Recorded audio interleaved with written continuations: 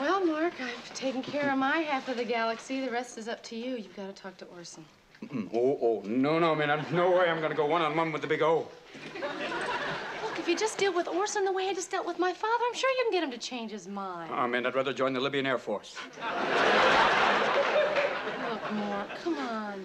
You just got to confront Orson. And you've got to do it right away. Man. Look, Mork, Hmm? our future is in your hands.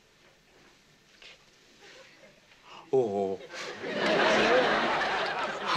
You're right, men. We have an industrial strength love.